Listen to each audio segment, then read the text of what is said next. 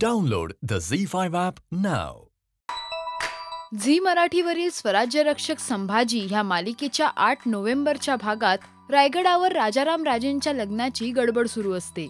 शिवाजी महाराज सईबाईंची आठवण काढत असतात. तेव्हा तिथे सोयराबाई येतात आणि लग्नाची गडबड झेपत नसल्याचं सांगतात.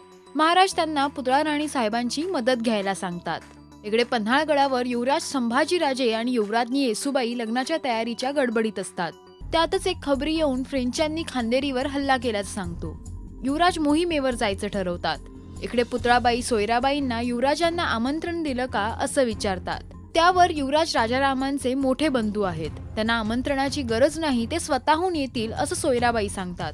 सोयराबाईंच्या ह्या उत्तराचं पुतळाबाईंना वाईट वाटतं. इकडे राजारामांना सोयराबाई त्यांचे पोशाख दाखवतात.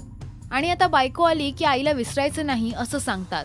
तेव्हा आम्हाला वहिनी साहेबांनी आधी आई मग पत्नी अशी शिकवण दिल्याचं ते सांगतात. त्यांचं हे बोलणं ऐकून सोयराबाईंचे डोळे भरून येतात.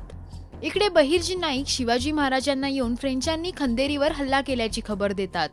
शिवाजी महाराज संभाजीराजे ही मोहीम नक्की यशस्वी करतील असा विश्वास व्यक्त करतात. युवराज संभाजी महाराजांची ही मोहीम यशस्वी होईल का? युवराज आणि युवराजनी राजाराम राजेंच्या लग्नाला हजेरी लावू शकतील का? या सर्व प्रश्नांची उत्तरं मिळवण्यासाठी पहा स्वराज्य रक्षक संभाजी सोमवार ते शनिवार रात्री नऊ वाजता फक्त झी मराठीवर. मराठी टेलिव्हिजन इंडस्ट्रीचे अपडेट मिळवण्यासाठी पहा आणि सबस्क्राईब करा राजश्री मराठी शोबच